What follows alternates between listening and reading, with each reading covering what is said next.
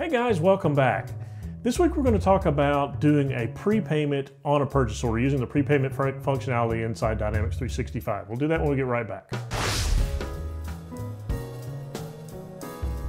So like I said, this week we're going to take a look at using the prepayment functionality. To be honest with you, I never used this, didn't ever have a case to use this, but recently working with a client, uh, I found a, a, use for this that, that I needed to use it for. So basically, this client uh, receives merchandise from overseas. It gets put on a ship and shipped over to the United States. So basically, they take ownership of that inventory as soon as that inventory hits the water. So we didn't really want to receive the inventory in yet, but we wanted to record it against an account to kind of so that we could later use it to uh, know how much inventory or the value of that inventory that's on the water. Um, so we used this method, took a prepayment, put it against a GL account so we can understand the value of that inventory. So it was a kind of neat process, very simple overall to use. Um, so let's go and take a look at that process now. All right, so there are some accounts payable items that need to be set up here. I'm not going to go over that in this video. I'm going to assume that you've got the accounts payable set up, and I'm going to show you what setup we need for the prepayment. It's not very much. The first thing we're going to do is we're going to go up and set up a procurement category. Um, so I'm going to go into procurement and sourcing, and then going to go into procurement categories. And then I've set one up here called prepayment. And really, I've not added any other details other than just to add it um, in, under this uh, procurement category here. So then what this is going to drive is we're going to specify this when we do our prepayment, it's going to drive the posting. Okay. So let's take a look at that next. Let's look at the posting profile. So if we go to inventory management, and then we go to setup and then uh, posting. And then posting again.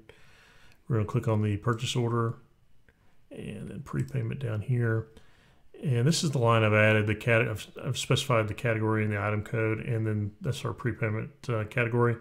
Now I, I, I realize that this is the same main account number. You really wouldn't do this in the real world but I was just trying to illustrate that you can send a certain category to a different main account here. So uh, really, this all category will handle everything, but I've just, if this were needed to be a different account, you could specify it.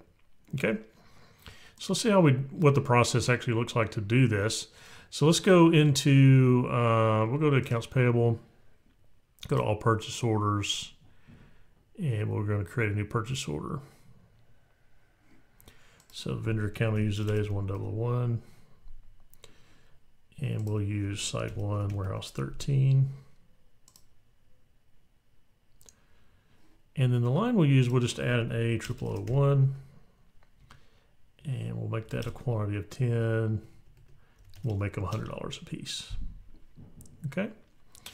So at this point, we could go ahead and do the um, do the prepayment. It's lit up. I can do it right now. It's going to make me confirm it so either way. So I'm going to go ahead and confirm it first, but I just want to mention you can do the prepayment now if you wanted to.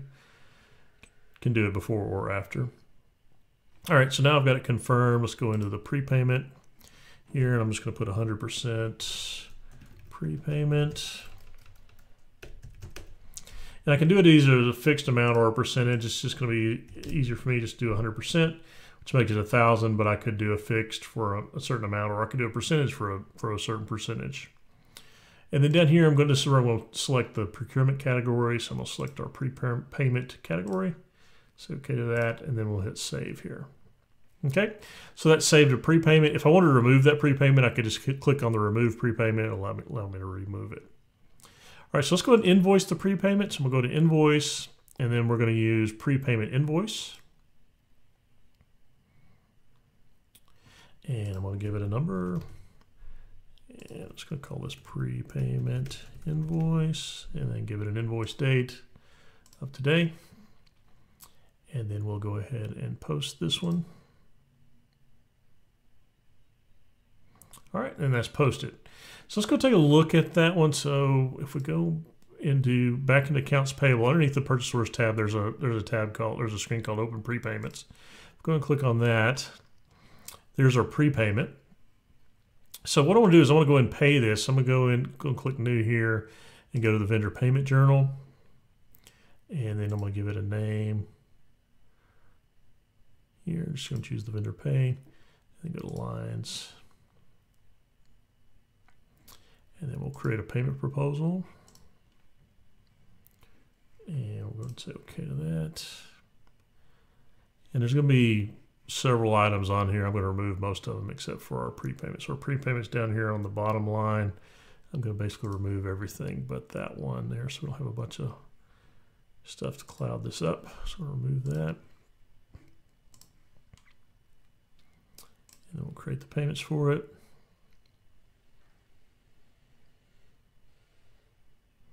All right, and then let's go ahead and generate payments. It's gonna be check, bank, and it goes for check 799. Go ahead and say okay to that. And I just don't have a printer set up, so it's gonna give me that error there. Okay, and then let's go ahead and post this.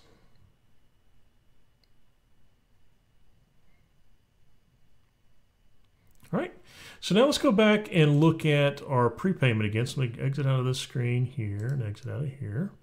And then if I do a refresh here, so now it's moved the thousand dollars over into the you know the unposted paid amount. So this hasn't been applied to any any uh, purchase order, right? So let's go ahead and go back into our PO. I'm just going to click on it right there. And at this point, it's, it's the normal process, your normal receiving process. So if you register the lines and receive it, if you're doing advanced warehouse, whatever you're doing, just uh, follow your normal uh, procedure for receiving it. So what I'm going to do is I'm just going to make it easier. I'm to go to receive. We'll go to product receipt. And I'm just going to receive the ordered quantity. I'm going to give it a receipt number. All right, so that's received it. And then so let's go to invoice and we'll go ahead and invoice. Now when we hit invoice here, you're going to see a little something different happens. It's going to tell us there's uh, one or more uh, pending invoices have been, uh, or basically there's some prepayments out there, right? So where we're going to go is if you click on the vendor invoice tab, there's an apply and uh, prepayment uh, option there. So we're going to select the prepayment we want to apply. We're going to hit apply prepayment. And then, so basically we have our negative 1,000 is going to go against our invoice of 1,000. Let me go and do the matching here real quick. Match product receipts. Match that. So, okay. And then we're going to update our match status so we can post this. We'll give this an invoice number. So this is the invoice and the invoice date. And then we'll go ahead and post that. So now what we're doing, we're creating our invoice for the actual purchase order and supplying the prepayment against that. Okay. So if we go back out here, we're going to back out and go back to our prepayment screen. So we're going to close out of this. Oop, went too far. Go and refresh that. And now our prepayment is gone because we've, we've applied against it, applied that against the invoice. So like I said, I, would never really used that before. I never had had anybody that was requested that, but it is kind of neat to know that it's there. It's very easy to use, very easy to set up. It's just a procurement category and then a um, and then a posting profile to tell it where to post the, the amount. And then you follow normal invoicing practices to to get it to invoice. Okay, so I hope you enjoyed this video. If you did, please like it, give it a thumbs up so that helps out the distribution of the video. And if you like this type of content, you like this D365 process content, go ahead and subscribe. You'll get uh, notified when I upload a new video. I upload a video in general once or twice a week. So again, I hope you enjoyed the video and until next time, thanks for watching. I'll see you later. Bye.